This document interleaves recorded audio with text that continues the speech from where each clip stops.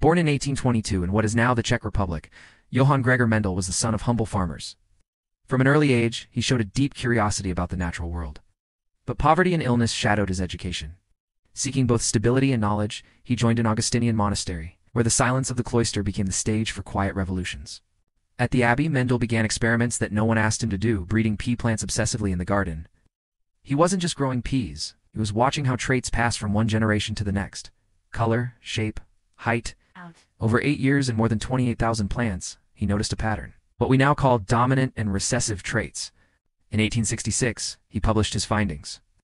He had uncovered the basic laws of inheritance, long before anyone knew what DNA even was, but no one listened. His work was ignored, misunderstood, even mocked. Mendel eventually gave up science and was promoted to abbot, where he spent the rest of his life buried in administrative duties. When he died in 1884, he was seen as a failed monk and scientist. His groundbreaking research gathering dust on forgotten library shelves, but decades later, scientists rediscovered his paper and gasped. His experiments were flawless, his logic decades ahead of its time. What the world had dismissed, it now embraced. Today, we call him the father of modern genetics. The man who died unseen became the foundation of all we know about heredity, genes, and the secrets of life itself. He never lived to see his genius recognized, but every biology textbook in the world now carries his legacy.